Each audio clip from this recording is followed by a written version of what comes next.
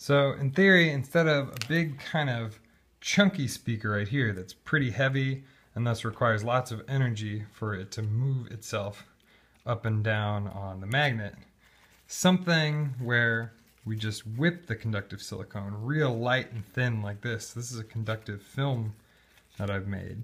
Um, if we get that into the right shape as a coil, then it can move itself much more like a regular speaker element. So it can be pulled nice and taut and probably give decent playback. It's just about getting it that correct shape.